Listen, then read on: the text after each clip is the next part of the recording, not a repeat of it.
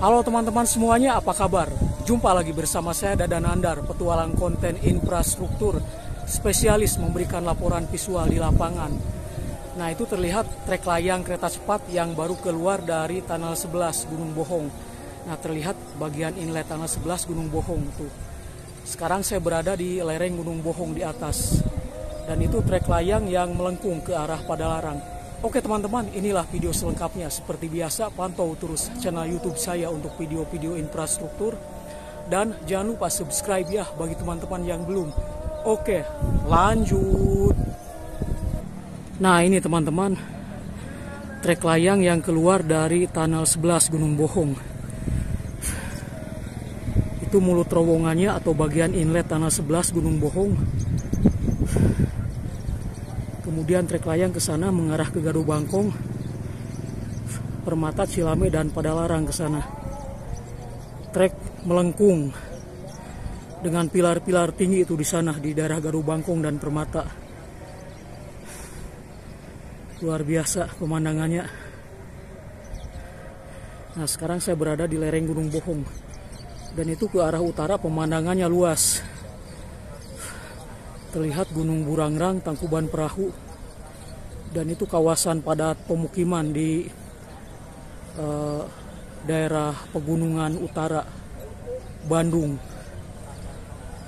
Kalau dari sini terlihat uh, malam-malam sinar-sinar lampu yang gemer gemerlap seperti bintang.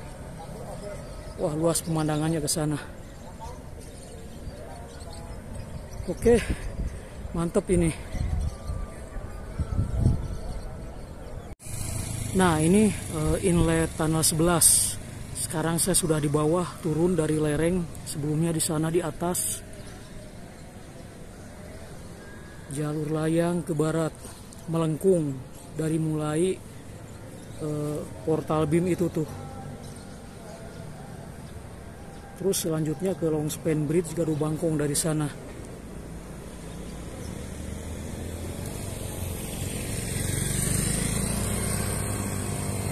Nah ini jalan yang baru dibangun KCIC. Sebelumnya jalannya di sana tuh. Udah jadi lereng sekarang. Oke mantep. Mari ke tempat lain. Nah teman-teman, sebelumnya saya berada di sana tuh di punggung itu tuh. Dan sekarang turun ke bawah berada di sisi timur. Oke lihat dulu dari dekat. Nah nanti juga itu bagian tanahnya akan dipasang beton seperti di tempat lainnya. Oke nih trek layang yang ke arah barat teman-teman. Ke arah Padalarang. Nah di sana ada deretan portal BIM 5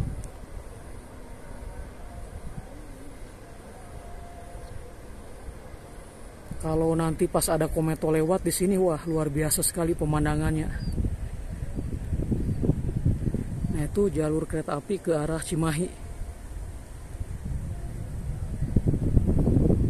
Nah ini Gunung Bohong sampai puncak. Luar biasa pemandangannya. Oke lanjut ke tempat lain. Ini dari depan tunnel sisi barat yang mengarah ke lembah Trate ke sana tuh itu ke arah ke arah Tipar nah ini trek layang yang keluar dari yang baru keluar dari tunnel. Kemudian ke sana ke arah barat. Terlihat melengkung.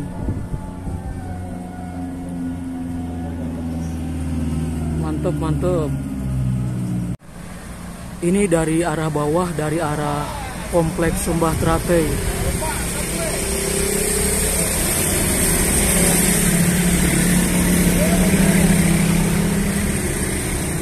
dari arah kompleks Lembah Teratai.